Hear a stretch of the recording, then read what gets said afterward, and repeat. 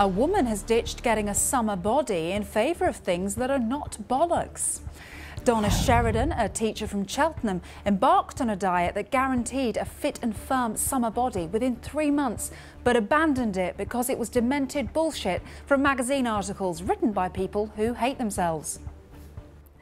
The diet plan I chose said I should cut out everything with a flavour, not drink alcohol or have any kind of fun, and do a lot of painful exercise. I soon realised I was missing out on life, so I consumed a litre of cider and quite a lot of sausages.